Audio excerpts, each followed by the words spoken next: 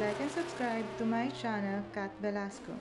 Click on the bell icon to get new video updates.